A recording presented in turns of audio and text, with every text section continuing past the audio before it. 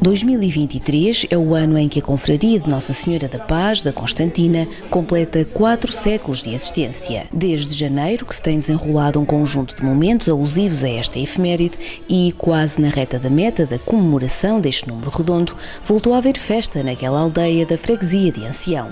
No último sábado, o ponto alto centrou-se na religiosidade, vertente intrínseca à confraria, nomeadamente com uma missa vespertina na capela de Nossa Senhora da Paz, erigida em 1623 e classificada como monumento de interesse público em 2013. Quanto a domingo, o final da manhã foi marcado por uma Assembleia Geral extraordinária que, para além dos diversos membros, contou com um convidado de honra. É com grande alegria e gratidão que nos reunimos hoje para celebrar os 400 anos de existência da nossa amada confraria. É um momento especial em que podemos olhar para trás e refletir sobre a história e o legado que nos foi deixado por aqueles que vieram antes de nós.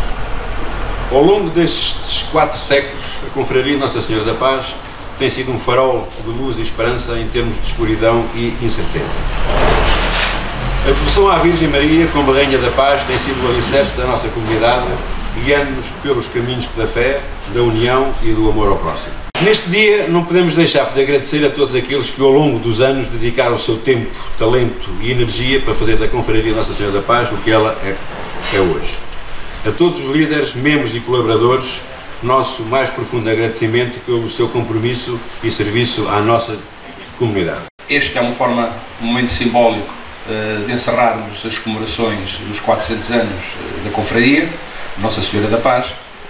Aguardamos também, e é importante também dizer isso, aguardamos também a publicação do livro dos 400 anos.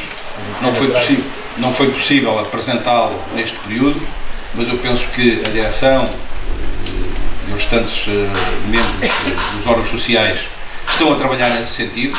Será também mais um momento ainda dentro das comemorações dos 400 anos, porque se estas festividades uh, terminam ou começaram enfim, no início do ano, no final do ano passado e terminam agora, há sempre momentos para nós celebrarmos e comemorarmos. Naquilo que é, naquilo que é um, projetar um bocadinho o futuro, dar nota que o município de Ancião, uh, tem acompanhado de uma forma próxima uh, estes 400 anos da, da confraria, uh, fazemos-lo assim também quando há marcos significativos na vida das nossas coletividades. E 400 anos são efetivamente uma marca significativa. É a associação mais antiga do Conselho de Ancião, em termos de organização. É com enorme regozijo e satisfação que nos encontramos aqui neste momento importantíssimo para a vida da Confraria Nossa Senhora da Paz. Uh, que tenham ânimo, força, uh, vontade de continuar a trabalhar em prol uh, da cultura, das tradições, na valorização do património, dos costumes do nosso Conselho. Ainda a propósito dos membros da confraria e um pouco antes de um almoço convívio que também teve lugar, tivemos ocasião de conversar com o juiz da confraria de Nossa Senhora da Paz, um dos cargos mais históricos dos quatro séculos de existência que esta confraria já atravessou. Eu desde sempre uh, ajudei a participar aqui na, nas festas de Nossa Senhora da Paz. Desde puto vinha aqui ajudar e pronto, gostava disso. Epá, depois no fim, quando, quando cresci mais um bocadinho e precisaram de mim, pronto, continuei, continuei.